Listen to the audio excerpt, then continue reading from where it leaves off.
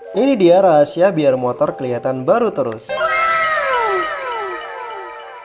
Buat kalian yang sudah sering cuci motor tapi tetap aja kelihatan buluk, udah saatnya cobain Dove Shadow Premium Black ini. Aku kemarin belinya online dan ini sellernya baik banget. Packagingnya rapi, dikasih bubble dan udah komplit dapat spons, sarung tangan dan juga cairan penghitamnya.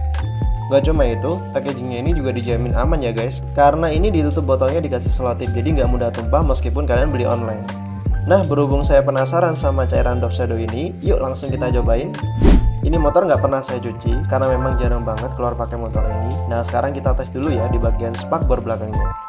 Biar tahu bedanya di spakbor ini nanti kita kasih selotip bening supaya nanti kalian bisa tahu before afternya. Cara gunanya simple banget, kalian tinggal tuangin, lalu oleskan pada bagian motor yang ingin dihitamkan, tunggu hingga kering, sekarang kita lihat perbedaannya.